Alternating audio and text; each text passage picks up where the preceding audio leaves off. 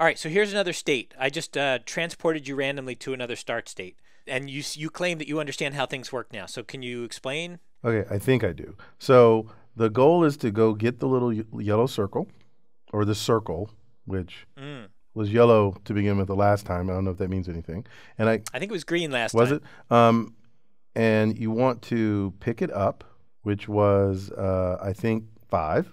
And when you do that, what I don't yet know is whether it uh, will change color. But whatever color it is, when you pick it up, you want to take it to the square that matches that color Good. and then put it down, which is action one. Now, I should say, because I, I didn't say it before, that what I thought the point was the first time was just to get the square and the circle in the same place. The square and the circle. Yeah, you did that right, and then but the but you didn't get any reward for that. Right. So then I figured out maybe I didn't do anything. But at that time, I was also still trying to figure out what all the commands did. Good. I was doing a lot of exploring. All right, so you learned a bit about the transition function. You learned a little bit about the, how actions change the state, Mm-hmm. and and you also learned a little bit about what states are rewarding. Yes. And so now you think, even though things are a bit different, you think you could actually get kind of on a minimal path to a goal state now. Sure. So from here, I would go 3 3. Then I would go 4 4. Then 5, which keeps it yellow. So then I need to go as quickly to yellow as I can. There's a lot of ways of doing that, but let's just do 2 2, 6, 6, 6, 6, Mhm. 2 2. And then that doesn't work. Hmm. Is it possible you forgot something? Oh, one. I got to put it down. Boom! Done. All right. So good. Excellent job. All right. So so yeah. So that was an MDP. In fact, uh, you solved that a lot faster than uh, any of the algorithms that we're going to be talking about because you made use of all kinds of interesting background information about how you can. Uh, you know what navigation does and how it's consistent across states, but generally in the MDP model in the in the reinforcement learning model, we don't necessarily assume that. It could very well be that what you're you know in each state the actions all do some other kind of crazy different thing and you have to learn that mapping Right. So let me say two things.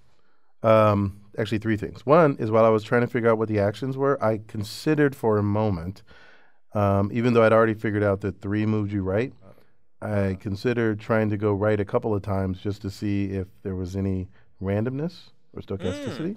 But then I decided you wouldn't do that to me. You're too nice of a person.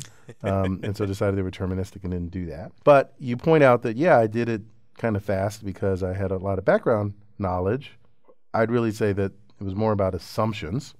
okay And in fact, my first assumption was wrong, oh right? That the goal was just to get in the same place as the circle, and that was the whole point.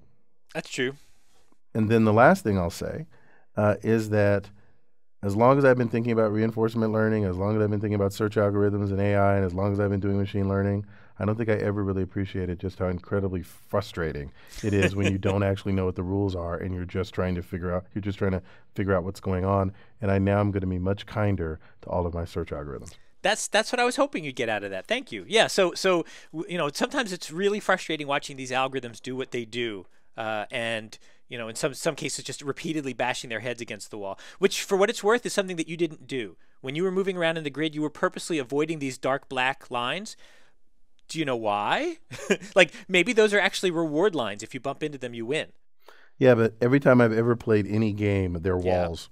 Yeah, they look like walls, and in fact, they are in this case. So, so that again, that was that was an assumption that you brought to bear. But, um, but but right. So you, when you watch uh, a, learning algorithm, a reinforcement learning algorithm, actually interacting with a grid like this, it doesn't have those biases necessarily, and so it can actually bash its head against this wall, and then maybe this wall for a while, and hey, this wall looks really fun.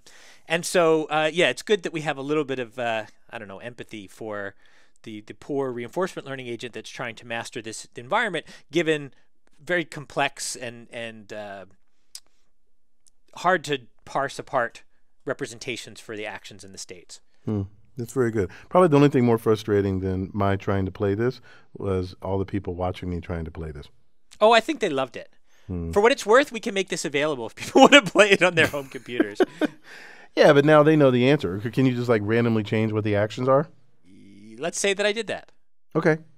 That was actually quite good. I'm glad you didn't uh, let me know what it was beforehand. Do you recognize it now? Do I recognize what now? This, yeah, this, it's it's a taxi it's a taxi Yeah. cab domain. I almost said that, and then realized that would break the illusion. so when I had Molly do this a long time ago, and I asked her at the end, like, what is exactly the task that this is supposed to be doing? She's like, well, you have to rescue the dog, and it just wants to go to its house. Wow, that is. I thought that was kind of awesome. We should try that with my daughter and see, assuming she could sit still long enough, and see what she would come up with. The other thing is when you when you had it in this position and you really liked the kind of the symmetries of it and stuff. We actually did this in a mall in New Jersey where we had people come by and and you know just see what they would do. We would give them the game and they would. And there was one woman who was a real estate agent who just could not get over the idea that the actual goal is to fix the feng shui. So there's if you look, the, so there's a color in every corner, except the blue is not quite in the corner. So she kept trying to move the blue into the corner. And when I told her that she should stop doing that, she just kept doing it because she was convinced that the task was one of feng shui. I like that, Yeah. and that tells you everything you need to know about why our real estate market is the way it is. and and New Jersey. Mm.